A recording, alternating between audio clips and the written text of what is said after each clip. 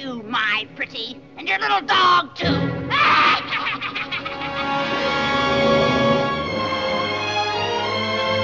The Wizard of Oz had started production with Richard Thorpe and then started production with George Cukor, and both of them had contributed in ways, but the production wasn't what MGM wanted it to be.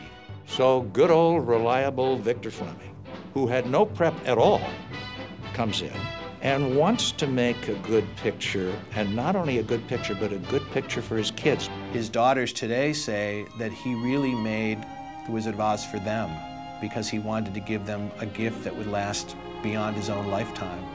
He loved children, and you can see that in The Wizard of Oz. Then close your eyes and tap your heels together three times. And think to yourself, there's no place like home. There's no place like home. There's, There's no no- place like home. There's no place like home. There's no. Victor and Mahin rewrote the script. They completely revised the opening of the film. Before they came on board, there was no You Follow the Yellow Brick Road song. Follow the Yellow Brick Road. Follow the yellow brick road. Follow the yellow brick road.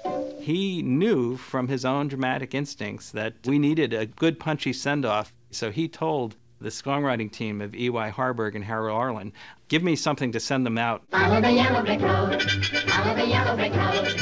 Follow, follow, follow, follow, follow the yellow brick road. The Wizard of Oz was Vic's first color film, and it became really the color film that, for its style, all other color films are measured against.